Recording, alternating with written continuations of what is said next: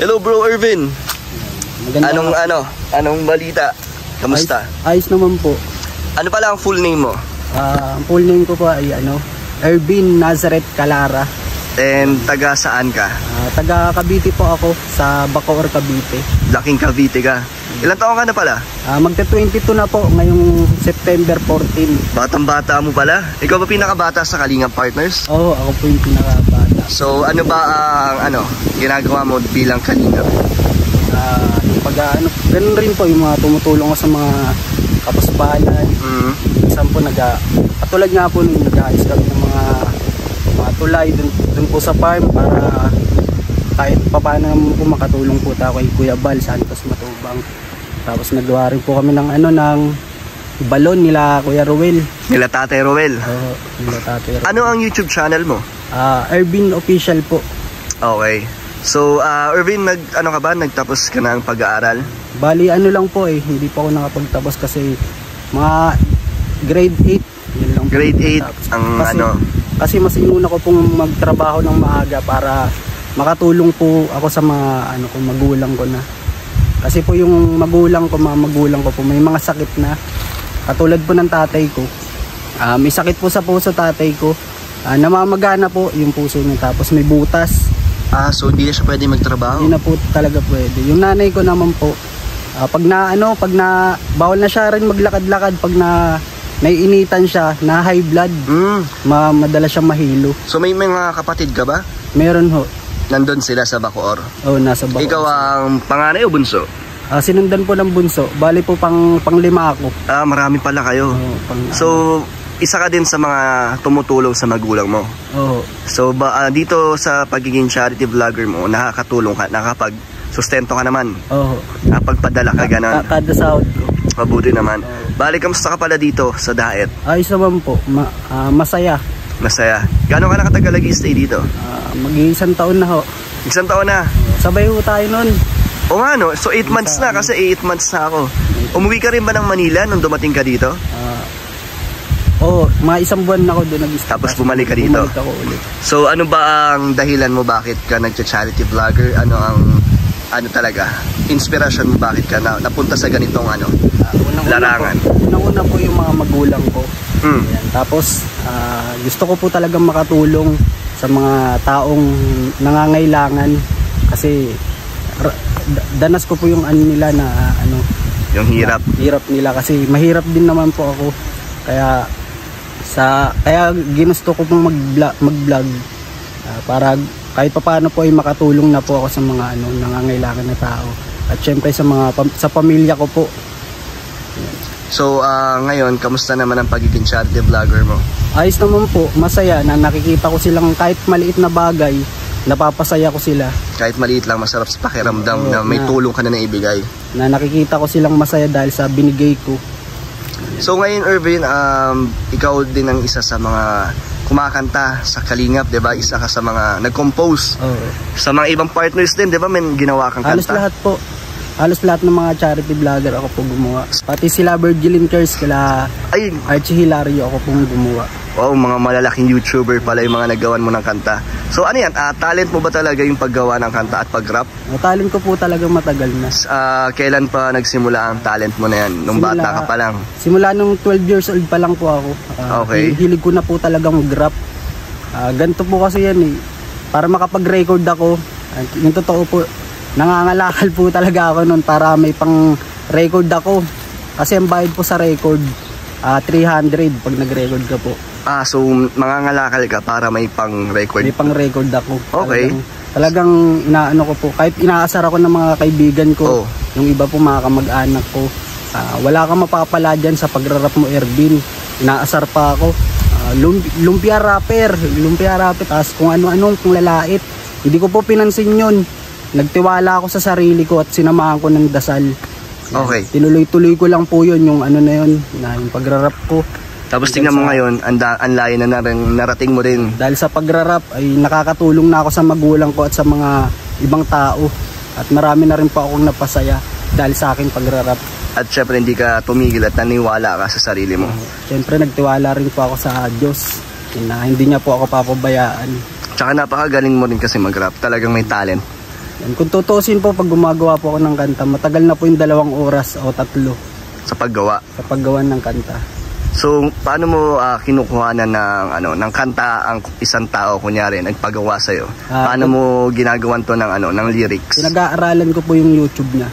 So, inaaral mo yung pagkatao rin niya. Inaaral ko po muna bago ko gawan. Tama, tama, magaling. Pinapanood ko po muna yung YouTube niya kung mga anong mga content niya Mm. ginagawa niya. Doon mo binabase. Doon ko po binabase yung kanta. Eh ngayon Irvin, ah, sa pag ah, charity mo, meron din bang mga sinasabi sa na hindi magaganda ang mga kamag-anak o kaibigan mo? Ah, Wala na po. Wala na, suporta na sila sa'yo. Opo. Yung iba nga po natutuwa ay yung dating mga ma- masusungit sa akin ngayon, Oo. halos yakapin na ako. Mabuti naman ganun. Maraming na pong ano, natutuwa sa akin sa mga ginagawa. Malaki rin ba ang nabago ng buhay mo nung dumating ka dito? Sobrang laki po kasi nakakatulong na po ako sa magulang ko. Nakaka-provide ka na. Tapos Saka- gusto mo pa yung ginagawa mo. Tsaka unti-unti po ako nakikilala na ano, ganun nga po. So magpapatuloy ka pa rin ba sa pagiging charity mo hanggang kailan? Ah, sa, sa tingin ko po, para sa akin ay abang buhay na to kasi nasimulan ko na po eh. Itutuloy mo na hanggang tumanda ka. Opo, dito na po, nandito na po ako sa mundo ng YouTube. Yan, hindi ko na po ititigil to. Mabuti naman. Ano ba dati mong ano, ah, trabaho bago ka naging YouTuber? Ah, ganito po kasi yun, ah, dati pa akong construction. Mm. 12 years old pa lang po ako noon nag pumapasok na ako sa mga ano ganung trabaho. Ma- mabibigat. Grabe, di maliit ka pa nun. Maliit pa ako niya. Ah, sumasama ako sa mga barkada ng kapatid ko para makapag ano, kahit pa paano binibigyan ako 150, masaya na ako dun. Oh. Anong ginagawa mo sa sahod mo? Bumibili pa ako ng ano, minsan bigas, tapos minsan ano yung 50 pinagtatabi ko para pang ano rin po doon, nagi para pang record ko. Iniipon ko po yun ng paunti-unti.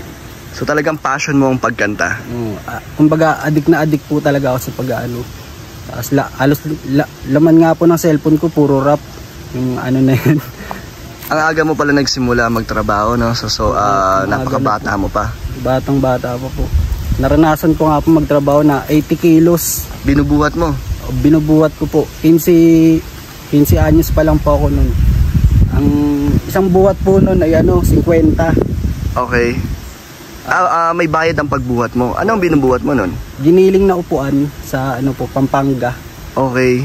isang truck po yun Mar- pero marami naman po kami kung sino yung, kung sino yung pinakamaraming nabuhat siya yung pinakamaraming sasahurin kasi isang sako ng 50 Pero napaka, ano nun, napakapagod nun. pagod po talaga Good ka talaga minsan nun. nga po eh, nagkaka-stiff leg po ako hindi hindi gumagalo hindi ko maano yung ano ko leg ko So ngayon, um, Irvin, paano ka napunta dito sa diet ah, kay Kuya Val? Sa nagsimula? Nung nanonood po kasi nanay ko ng mga ano, mahilig po kasi manood yung mga magulang ko ng ano, mga nagbablog, yung mga charity vlogger. Hanggang sa napanood ko po si Kuya Bal na ano, nakikita ko po yung mga ginagawa niya sa pagbablog niya. Ah, kumbaga nakakatuwa po, Ah, sabi sa akin ng mga magulang ko, ah, gawan ko daw po si Kuya Bal Santos ng ano, ng kanta. Mm. Yan, pinag-aralan ko po talaga yun. Lahat po ng video ni Kuya Bal, pinanood ko. Hanggang sa ginawan ko po kinabukasan. Si- sinaglit ko lang po. Tapos ano, saktong-sakto po, friend ko po si Kuya Jason, si Mr. Benty Boy. Sa kanya ko po sinend yung kanta. Tinanong ko po si Kuya Jason kung magugustuhan ba ni Kuya Bal yung, kung magugustuhan po ba ni Kuya Bal yung ginawa ko sa kanyang kanta. Hanggang sa napakinggan ni Kuya Bal, ah, nagustuhan niya naman po kasi yung nilalaman ng yung nilalaman ng kanta, yun po talaga yung ginagawa niya sa mga vlog niya. Oo. Yan. So doon nagsimula na maging part ka at ang pagpunta mo dito. Hanggang sa naging sunod-sunod po yun. Bali, yung mga kanta ko po sa Kalingap pala Kuya Bal, mga nasa 20 mahigit po. Dami. Opo. So anong pakiramdam mo pag naririnig mo yung ginawa mong kanta at ginagamit nila to sa ano, channel nila? Parang ang sarap sa pakiramdam, nat- natutuwa ako sa ano, na, naririnig ko yung mga pinaghirapan kong kanta, pinapatugtog po nila Kuya Bal na ano, ganun. So ngayon, ano rin ang pakiramdam na nakakatulong ka na rin sa mga taong nangangailangan? sobrang sarap po sa pakiramdam na ano, ganun nga, na katulad kong mahihirap ay natutulungan ko rin po kahit pa paano, At nakakatulong ka na rin sa pamilya mo. pamilya ko. So, ano ba ang pangarap mo, Irvin, sa sarili mo? Ah, yung nag-aaral pa po ako ay pangarap ko po talaga maging seaman. Mm. Yan, hanggang sa ganun na nga po na hindi na kaya mga magulang ko. Kumbaga, yun, kinakapos na rin po sa budget. Kaya naisipan ko po talaga na ano, mag, maaga magtrabaho para kahit papano naman po ay makatulong ako sa magulang ko. Ah, dumating ka na ba sa point ng buhay mo kahit nung bata ka pa na parang gusto mong sumuko o bumigay kasi namulat ka agad sa ares sa kahirapan. Ah, yung totoo po, aminin ko na po. Dati po, ah, talagang ang bigat-bigat na ng loob ko, pakiramdam ko wala na akong kakampi, wala nang ano, parang na, na, naisipan ko lang po na mag, ano, mag, mag ano, mag, ano ba tawag din niya? Yung may tali. Magbigti. o ganun, Ah, gusto mo na mag-suicide. Kumbaga, naiisip ko wala na talaga akong kakampi. Yung ganun, O, anong... sa hirap ng buhay. So, paano mo nilabanan yan? Kumbaga, nilibang-libang ko na lang yung sarili ko. Katulad ng paggagawa ko ng kanta. Okay. Hanggang sa na ano na ako na addict talaga sa pag buti na lang po ay Na-addict sa paggawa ng kanta. doon ako na ano na pag ano ng kanta. Doon mo na ano yung attention mo na parang ito yung purpose mo at yung talent mo, ito na yung ginagawa mo talaga. So, nakatulong naman yon Nakatulong naman hanggang ngayon. hanggang ngayon po. Ano na lang ang ma-advise mo sa mga ka- kabataan na dumadaan din sa da, ano, pinagdaanan mo? Anong mabibigay mo sa kanilang ko lang po sa inspirasyon? kanila na ano kahit anong pag kahit gaano kahirap ng buhay, ah, laban lang po tayo at lagi po tayo magtiwala sa ating mahal na Panginoon. Okay. At lagi po nating isipin yung ating mga mahal sa buhay. Yan.